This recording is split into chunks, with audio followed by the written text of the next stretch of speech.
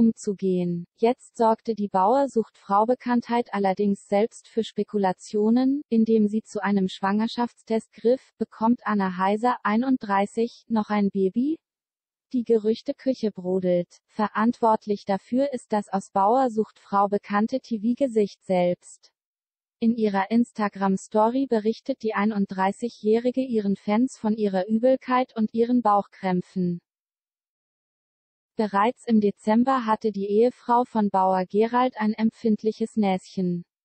Vorhin ist mir zum Beispiel vom Seifengeruch übel geworden, informierte sie ihre Community.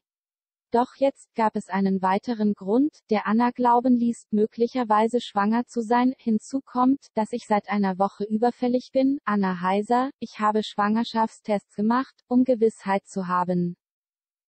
Machte die Kuppelshow-Kandidatin einen Schwangerschaftstest. Das Ergebnis wollte die Mutter eines Sohnes ihren FollowerInnen nicht vorenthalten und so gab sie Entwarnung. Ich habe Schwangerschaftstests gemacht und die waren alle negativ.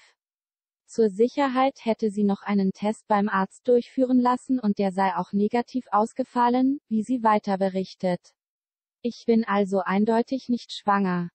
Lässt sie ihre Fans wissen und räumt damit alle Zweifel aus dem Weg. Warum geht es dem Bauer sucht Frau Star so schlecht, doch die Sorgen um ihre Gesundheit bleiben.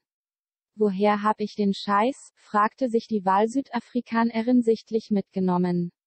Vielleicht hat sich Anna Heiser einfach zu viel vorgenommen und war in letzter Zeit ein bisschen gestresst.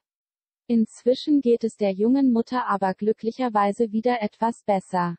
Mir ist nur etwas schwindelig, aber es geht, so Anna in den sozialen Medien, Nachwuchspläne beim Auswandererpaar, kann sich die 31-Jährige denn noch ein weiteres Kind vorstellen? Zusammen mit ihrem Mann Gerald hat sie bereits Sohn Leon. Ersten theoretisch wünschen wir uns zeitnah ein Geschwisterchen für Leon, aber zurzeit ist Leons Erziehung sehr zeit- und energieintensiv, so dass ich nicht weiß, wie ich einem zweiten Kind gerecht werden soll.